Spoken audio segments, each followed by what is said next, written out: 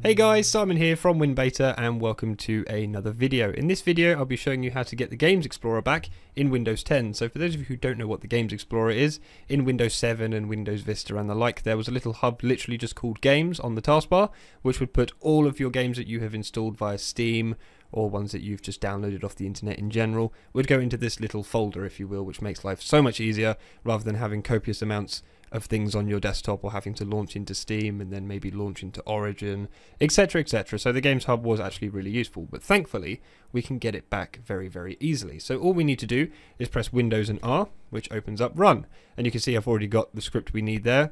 Good to go. So what we need to type in is shell colon games, then press enter. Voila! Games Hub has returned onto our screens. This is good times. And then all we need to do is drop our games into here.